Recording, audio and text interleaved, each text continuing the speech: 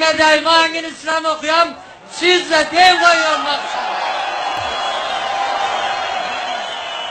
Azizim merde sarı,